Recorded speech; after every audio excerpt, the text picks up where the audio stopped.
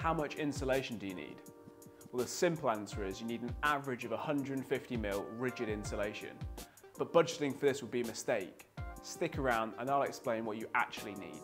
In 2022, the building regs changed. To comply, you'll need to increase the thickness of insulation. Today, I'll explain exactly how much insulation you need for the floor, walls and roof. If you're new to the channel, welcome to Berkley Builds, I'm Ben. I've got over a decade of experience building houses, I'm now a building inspector and I'm passionate about helping you understand construction and getting stuck into DIY. Let's start from the ground up. Firstly, the floor. The performance of insulation is gauged by its U value.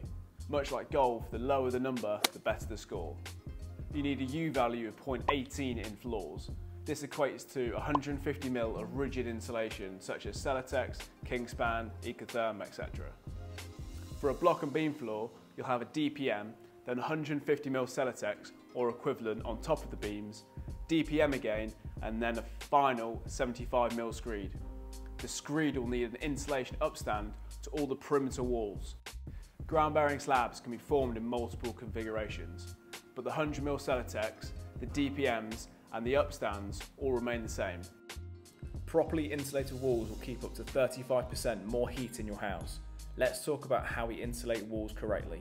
You now need a U value of 0.18. Depending on the construction, this equates to 100 mil of rigid insulation or 150 mil of cavity insulation fully filled. Cavities have now been widened to 150 mil to accommodate more insulation. Cavities are constructed the same way, with face brickwork and a thermalite block, but they can be insulated differently. You have the option of using 100 mil Celotex, foil taped and clipped with a 50mm air gap, or using 150ml of DriTherm 32, fully filling the cavity. Now you've constructed the walls, you need to insulate the roof. Shockingly, a quarter of all heat is lost through the roof. So how do you insulate it? In the roof, you now need a U value of 0.15. This equates to 175mm of rigid insulation for pitch roofs, 150ml of rigid insulation for warm roofs, and 300ml of loft roll for roof voids. For a normal pitch roof with breathable felt, you'll now need 125ml Celotex between the rafters with 50ml underneath. Bear in mind that you'll need a minimum of 7 by 2 rafter to allow for a 50ml air gap above the insulation. If you have a pitched roof with a flat ceiling and a cold vented roof void, you'll need 300ml of loft roll, essentially two layers of 150ml with the second layer laid at 90 degrees to the first.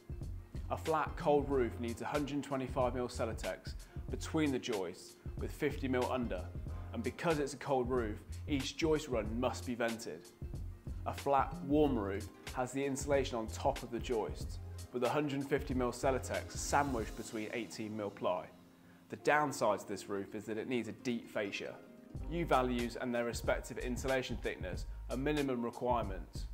Discuss with your architect whether it's worth your while increasing these values to improve the energy performance of your house and potentially have lower bills. Now you understand how much insulation you need, check out this video on renovating your house.